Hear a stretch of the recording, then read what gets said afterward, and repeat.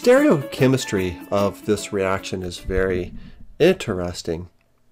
So what we're going to see here is a couple of things. So I want to start off here right in the kind of the middle of this section here. And I'm going to put here a carbon. And then let's throw here a nice leaving group. And then let's make this um, about an ethyl. And then let's throw on our wedge here. Let's make that a methyl. So here's a CH3. And then let's throw an H back here. All right, now the first step of this reaction, if you guys remember, right, the first step of this reaction is that we're going to have our leaving group leave, right? That's our first step. So we're going to come over and we're going to do this. So now we have a loss of our iodide. So again, here's our RDS, right? That's our step number one. Let's write our number one right here for our step. Step number one. All right, again, this is for, let's just assume just a, an SN1 is occurring for this. Now, what that's going to give us is this intermediate. So we're going to have our carbon here. Then we're going to have our ethyl hanging out over just like this. And then our CH3 here and our H back here just like that. Now what we're going to have left on this is we have a p orbital lobe here and then the other p orbital lobe down here just like this. All right, now the other thing that happens here, so again, and then let's put our plus charge in here, right? Make a note of, of a couple things. So remember that's that is a planar sp2 hybridized carbon. Now, when iodide leaves, it doesn't actually just get booted off into the ether. You know, it's still hanging out. So it actually forms this thing called a contact ion pair. So kind of right here, it's, it's on that top of the part of our carbon. So I'm just going to draw a sphere right here and put I minus in it. It's hanging out right there. We haven't given it sufficient time to dissociate. and It's still touching essentially the carbon with the plus charge on it. Now from this step we can go one of two directions.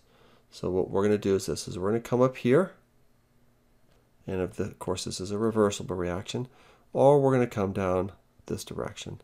Again another reversible reaction. And to this we will add H2O. And we're going to do it, kind of carry this out in two, two different pathways. Because remember, that top lobe and the bottom lobe are um, prone to react, right? So looking at this top lobe, we're going to come around here and we make a bond with this, essentially, right? Now, as far as the next step of this reaction goes, we're going to have our carbon here. That's going to be connected to an oxygen from your water and that water still has two H's on it. And recall it's that lone pair that's making that bond of carbon, so we're going to have a lone pair left there, and that's going to put a formal charge of plus one on the oxygen. Now this ethyl group here and the methyl group and the H are going to get pushed down. So this is going to be a CH2, CH3. Here we have a methyl, so put our methyl group in there. And then we have an H right there.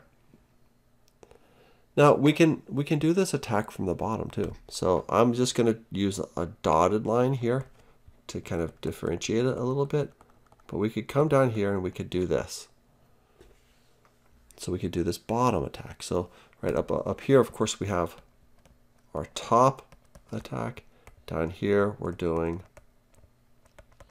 a bottom attack.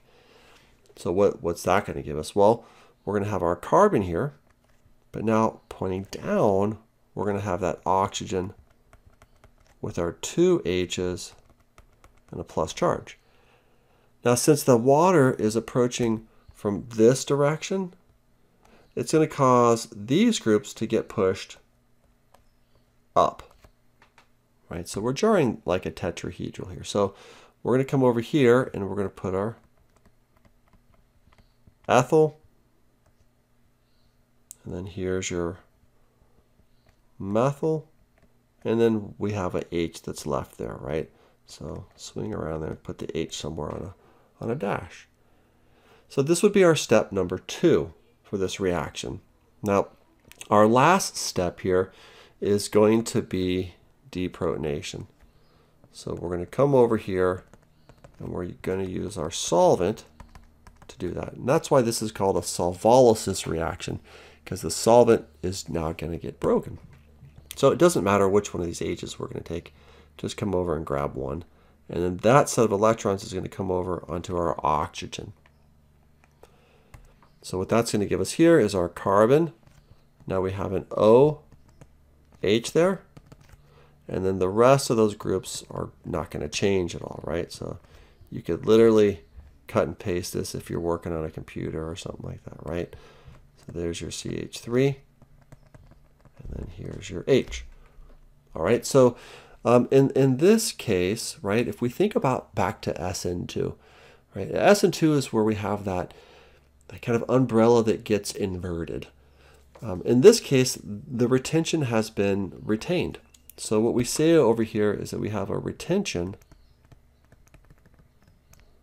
of configuration.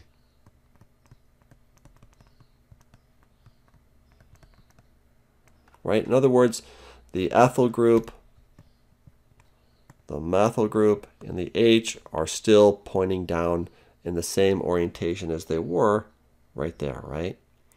But look here, here we've had an inversion. So we call this an inversion of configuration. But let's write out what the product is here. So we're not done. We're going to take this and we're going to come over and grab one of those H's. And then those electrons are now going to come down onto our oxygen atom. All right, so what that's going to give us here is our, our carbon. And then down here, we're going to have our OH. And there's your ethyl. And again, your methyl and your H stay in the same position. So there's your CH3 and there's your H. Now both of these make H3O+, plus, but again we often omit that. So again, we call this now an inversion of configuration. So here's our inverted product, and here's our retention. So the question I have for you is, um, what is the distribution? Is it exactly 50-50? Notice up here that I say roughly equal probability.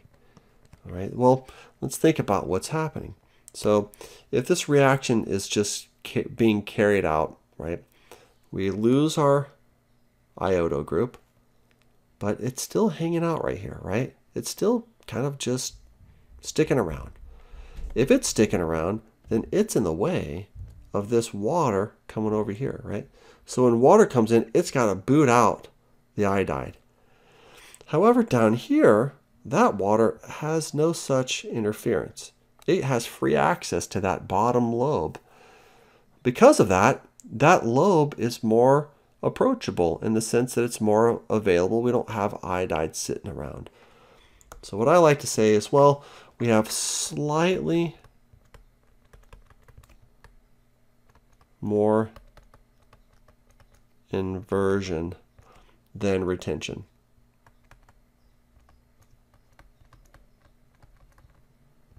Now, if you, if you give this carbocation that we formed here sufficient time for that contact ion pair to dissociate, then you could get 50-50.